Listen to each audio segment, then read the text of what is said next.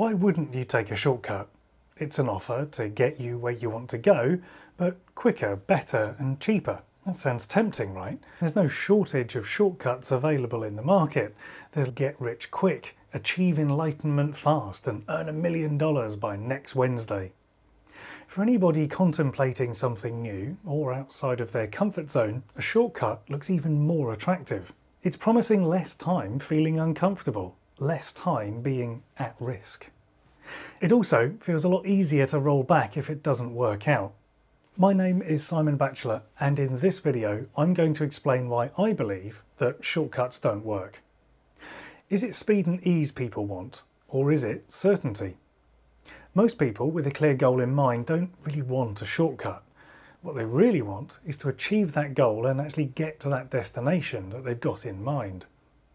If the longer route is offering them more certainty, then most people would prefer to take that route because they can be more certain of getting where they want to be. If they're making that decision or looking at the map on their own, then that shortcut can look really attractive, especially if they don't have anybody to point out the safer route. What most people really need is a guide. They're looking for someone they can trust to go on that journey with them to get them where they want to go. If all you're looking for is sales, then it's easy to sell shortcuts. You can take advantage of people all day long, selling them what they think they want, a quick fix. All you have to do is forego your integrity and you can make a lot of money this way. But like those snake oil salesmen of the past, you'll need to pack up and move on before people realise that what they've bought wasn't what they wanted or really needed. I believe it's also easy to sell that longer journey because people are usually ready to buy certainty. By building trust and showing people the path to that destination, most people who really want to get there will sign up. This is where effective and ethical marketing comes in. The key is to establish yourself as the guide. There are two ways in which marketing can help do this. Number one, you can show the people looking for shortcuts that there is another path. That path goes where they want to go and you have travelled it before and you can show them the way. Number two, you can show people who haven't even started looking for shortcuts what destinations they might like to consider. Marketing to those in Group 1 is a lot easier because they're already looking for that solution. After 20 years of working in marketing, it still baffles me that people don't focus on this group first. Speaking to the people in Group 1, you simply need to answer these three questions that they have. Who does this person work with? What do they work with them on? and why can I trust them to guide me? A lot of marketing advice is focusing on how to sell the destination, not on the journey. So if you're not selling the value of the journey, you're encouraging people to think in terms of shortcuts. As coaches and consultants, you know that there is no shortcut. We need to focus on marketing the journey.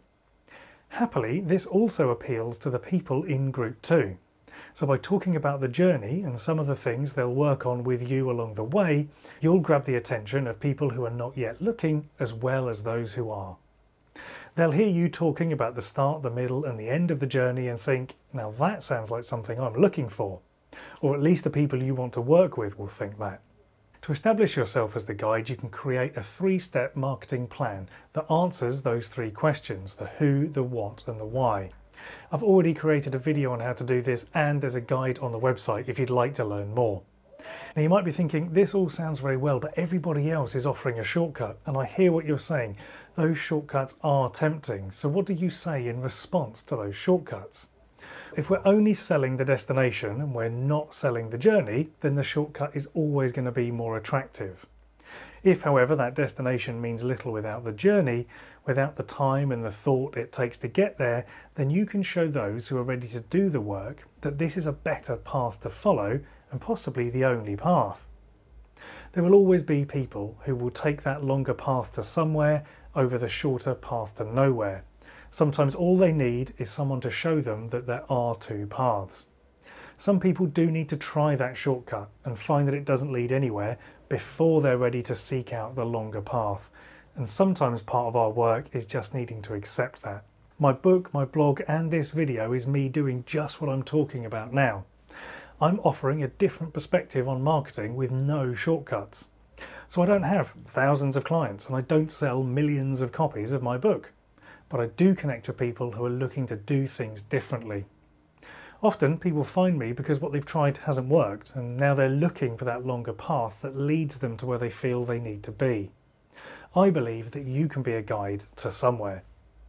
If you want to establish yourself as this guide and market what you do in a way that connects you with the people who feel they're ready to work with you, then do check out my book Reframing Marketing. All the help you need is in there, guiding you through step by step.